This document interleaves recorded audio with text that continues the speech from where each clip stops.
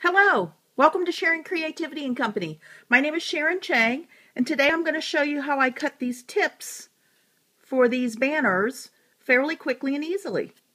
Let's get started. First thing you're going to do is you go ahead and cut your banner, whatever size you want it.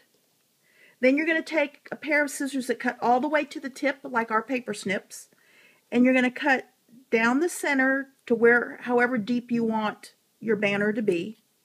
Then you cut from one corner to the end of your center cut. And then you take the other side and you do the same thing.